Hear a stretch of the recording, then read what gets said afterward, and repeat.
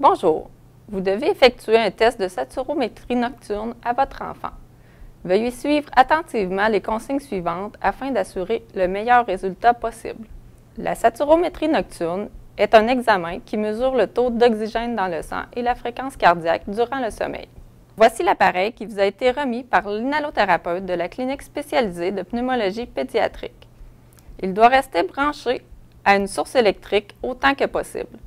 Branchez-le dès votre arrivée à la maison et gardez-le branché toute la nuit et jusqu'à votre retour à l'hôpital. Votre enfant doit porter le capteur de saturation pour sa période de sommeil de la nuit, idéalement 8 heures et plus. Il est entendu que certains enfants auront des périodes d'éveil durant la nuit.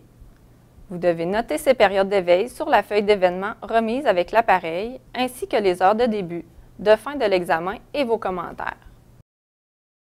Lorsque vous êtes prêt, installez le capteur sur l'enfant selon les étapes suivantes.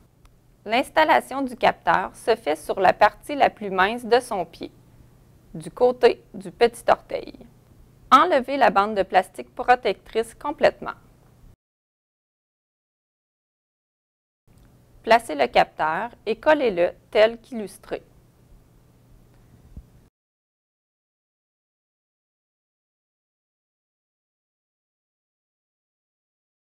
Installez la bande élastique sans trop serrer.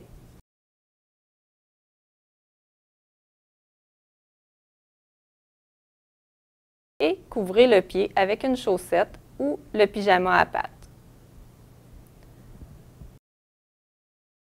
Une fois le capteur en place, branchez-le au câble de l'appareil comme ceci. Fermez le clapet. Vous pouvez maintenant démarrer l'enregistrement en appuyant sur la touche Marche-Arrêt.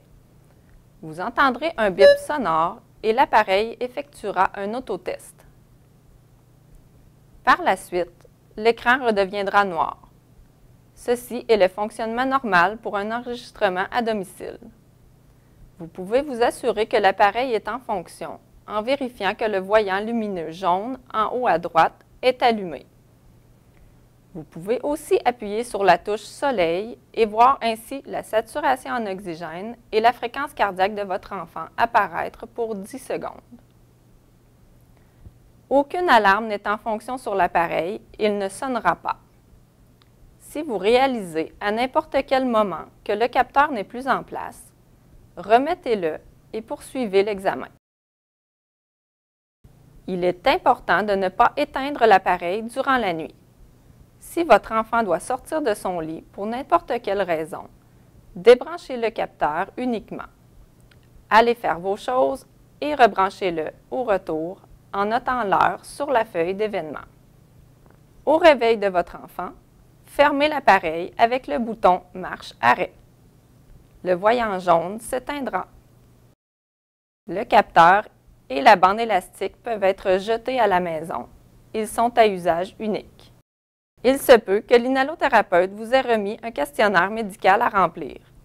Si c'est le cas, remettez-le dûment rempli dans le sac avec l'appareil et la feuille d'événement. Retournez l'appareil au moment et à l'endroit convenu.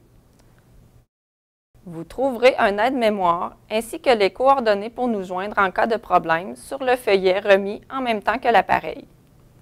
Nous espérons que votre enfant et vous passerez une bonne nuit.